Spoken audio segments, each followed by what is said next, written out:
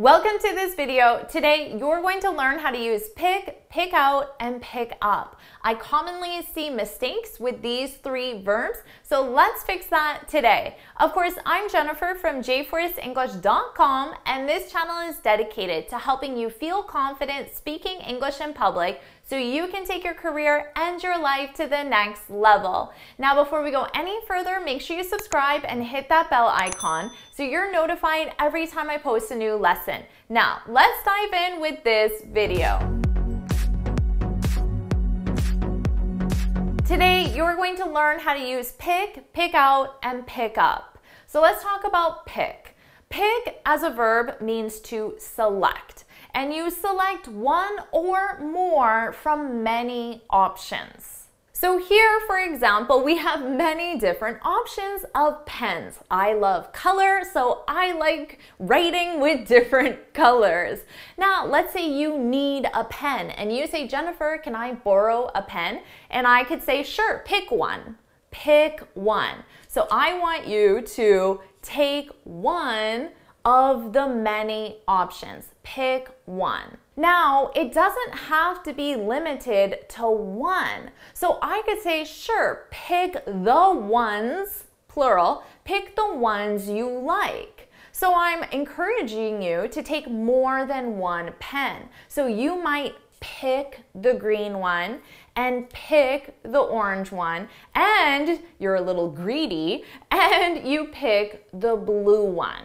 Now let's compare that to pick out because we also use pick out as a phrasal verb. Notice it has the preposition out. So this is a phrasal verb. We add the preposition out and we can use it to say identify one or more out of many. Now, that is exactly the same as pick, right? So I could say, sure, pick one out and you pick the orange one. Or I could say, sure, pick out your favorites. And you pick out the yellow, blue, and the green one. And you can say, I picked these, I picked these out. So in this specific context of selecting one or more from many, you can use either pick or pick out. There's no difference in meaning. Now let's talk about pick up. This is the mistake I see. Sometimes students use pick up instead of pick out, but they're completely different meanings. So pick up is in no way related to selecting, okay? Completely different.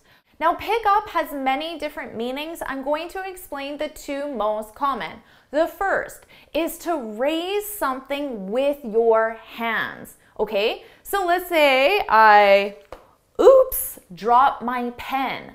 I need, and this is the floor, okay? I need to pick it up, pick it up. So I'm lifting something, raising something with my hands. So let's say you got a parcel and it's really big. You could ask someone, can you help me pick this up? It's really heavy. Now, the second most common meaning of pick up is when you go to a place to get someone or something and then take that someone or something to another place. So I'm sure you know this one because it's very commonly used. Can you pick me up from the airport? So you go to the airport, you get me, and you bring me to another location.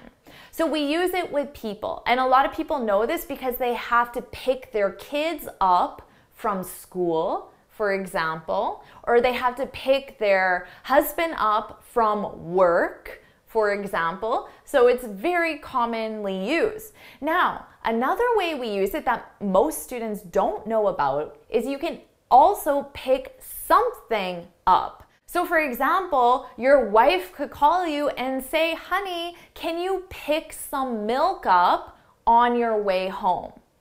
So, you're going to go from work to the store, get milk, and bring the milk to another location. Can you pick some milk up from the store? Or can you pick up some pens on your way home because I don't have enough colorful pens.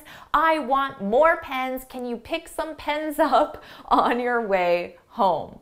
But just remember that pick up is in no way related to pick or pick out. So now you know how to use pick and pick out to mean select one out of many, and you know two common meanings for the phrasal verb pick up. So you have four sentences to write. I want you to leave those in the comments below. And if you found this video helpful, please hit the like button, share it with your friends, and of course, subscribe. And before you go, make sure you head on over to my website, jforrestenglish.com, and get your free speaking guide. In this guide, I share six tips on how to speak English fluently and confidently. And until next time, happy studying!